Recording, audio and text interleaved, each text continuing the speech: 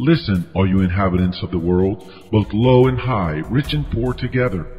My mouth will speak words of wisdom, my heart shall utter understanding.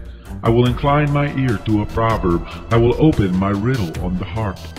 Why should I fear in the days of evil, when iniquity at my heels surrounds me?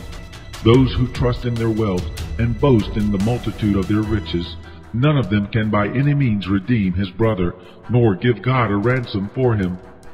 For the redemption of their life is costly, no payment is ever enough, that he should live on forever, that he should not see corruption.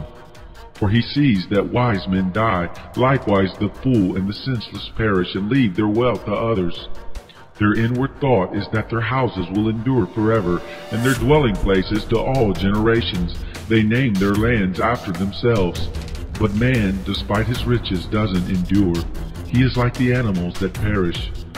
This is the destiny of those who are foolish, and of those who approve their sayings.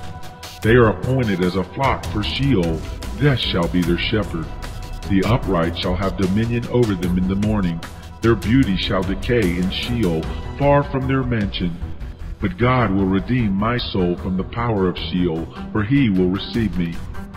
Don't be afraid when a man is made rich, when the glory of his house is increased.